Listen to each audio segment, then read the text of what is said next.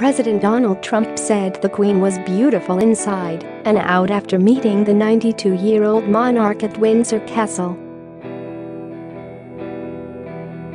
Mr. Trump and First Lady Melania were due to spend half an hour with the Queen on Thursday, but stayed longer than expected after their afternoon tea overran by 20 minutes. To speak with the president and quizzed him on his meeting with the Queen, relations with the UK after Brexit, and North Korean leader Kim Jong-un.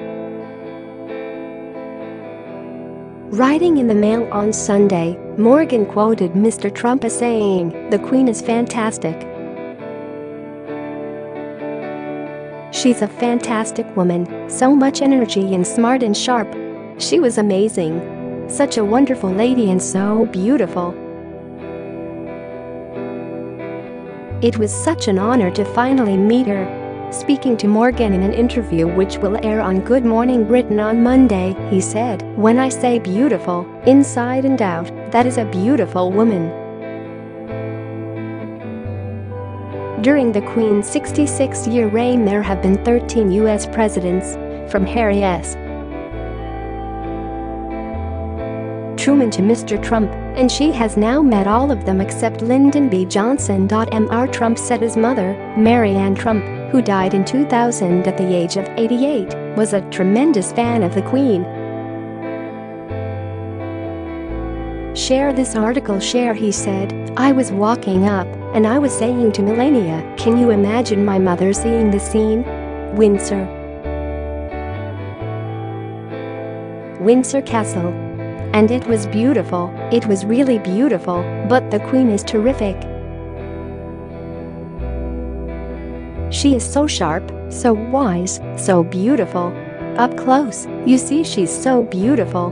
She's a very special person. And the way she's conducted herself for so many years. And she's got a lot of years left. To have that meeting I think was really great. We met, but also watching the guard, hearing the sounds, being in that place, that very special place. It was very special there's no question about that. Morgan asked if the Queen had discussed Brexit with the President. Trump said, I did. She said it's a very, and she's right it's a very complex problem. I think nobody had any idea how complex it was going to be. Everyone thought it was going to be, oh it's simple, we join or don't join, or let's see what happens. Speaking about a trade deal, Mr. Trump said, I think we're going to have a great trade deal, I've really no doubt about it. We're going to get it. I said to Theresa May, make sure you have a carve-out, you have to have a carve-out, where no matter what happens they have the right to make a deal with the United States. I think no matter what happens, they're going to have carve-outs, and they're going to make a deal with us. I'm saying that now, so that when I go into negotiations with you people, I'm going to try and top you, you're going to try and top us. The main thing is they have to have the right to do it, so that's the only thing I told the PM you have to have the right to do it. You can't be shut out, because we're much bigger than the European Union, we're more important from that standpoint.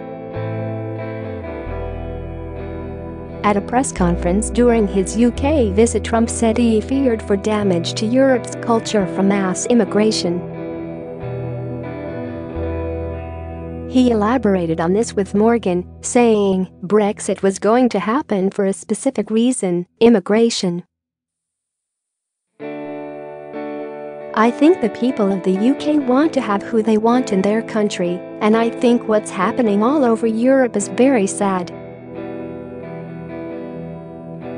As he left Scotland on his way to his summit with Vladimir Putin in Helsinki Mr. Trump described the EU as a foe. He said, I think the European Union is a foe, what they do to us in trade. Now you wouldn't think of the European Union, but they're a foe. Morgan's interview with Mr. Trump airs on ITV's Good Morning Britain at 6 a.m. BST on Monday.